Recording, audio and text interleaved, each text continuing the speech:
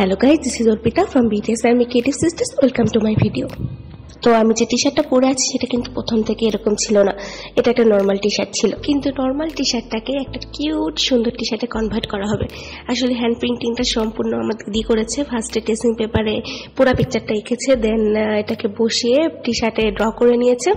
তারপর সুন্দরভাবে এটাকে রং করেছে। রঙের জন্য অ্যাক্রিলিক ফেব্রিক কালার ইউজ করা হয়েছে। আর তোমাদের জন্য টিপস থাকবে যে রংটা শেষ হয়ে যাওয়ার পর মানে পুরো কাজটা কমপ্লিট হওয়ার পর, ভালোভাবে এটাকে রোদে একবার শুকাবা। দেন আবার লিকুইড বার্নিশ দিয়ে এটাকে ভালোভাবে বার্নিশ করে নিবা। তারপর এগেন এটাকে রোদে শুকাবা, তাহলে দেখবা যে একদম স্টিকারের মতো এটা গ্লেজ দিবে আর অনেক বেশি লং লাস্টিং হবে।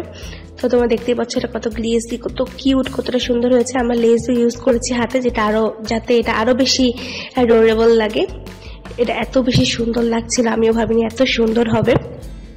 I just love that T shirt আমার তো খুবই ভালো লেগেছে টি শার্টটা এটা এখন থেকে আমার মোস্ট ফেভারিট টি শার্টের মধ্যে থাকবে।